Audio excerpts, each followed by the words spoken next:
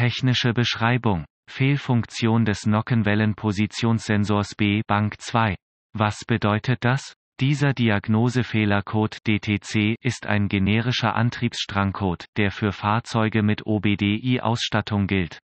Obwohl generisch, können die spezifischen Reparaturschritte je nach Marke Modell variieren. Dieser P0390-Fehlercode zeigt an, dass ein Problem im Schaltkreis des Nockenwellenpositionssensors von Bank 2 festgestellt wurde. Da dort Schaltung steht, bedeutet dies, dass das Problem in jedem Teil der Schaltung liegen kann, im Sensor selbst, in der Verkabelung oder im PCM. Ersetzen Sie nicht nur den CPS Nockenwellenpositionssensor und denken Sie, dass dies das Problem definitiv beheben wird.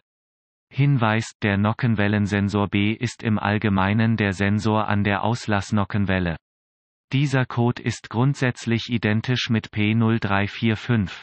Informationen zur Identifizierung des richtigen Sensors an Ihrem Fahrzeugmotor finden Sie in einem fahrzeugspezifischen Reparaturhandbuch.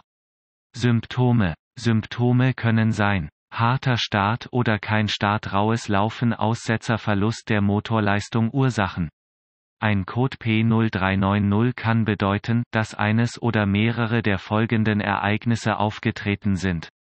Ein Kabel oder Stecker im Stromkreis könnte geerdet kurzgeschlossen gebrochen sein. Möglicherweise ist der Nockenwellenpositionssensor ausgefallen. Das PCM ist möglicherweise ausgefallen. Es besteht ein offener Stromkreis. Möglicherweise ist der Kurbelwellenpositionssensor ausgefallen. Mögliche Lösungen mit einem P0390 OBDI-Fehlercode kann die Diagnose manchmal schwierig sein.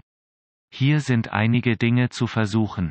Überprüfen Sie alle Kabel und Anschlüsse im Stromkreis. Visuell Überprüfen Sie die Stromkreisverkabelung auf Durchgang. Überprüfen Sie den Betrieb, die Spannung des Nockenwellenpositionssensors. Ersetzen Sie den erforderlichen Sensor Bs für die Nockenwellenposition. Überprüfen Sie auch den Kurbelwellenpositionskreis. Ersetzen Sie die Schaltkreiskabel und oder Steckverbinder nach Bedarf Diagnostizieren. Ersetzen Sie das PCM nach Bedarf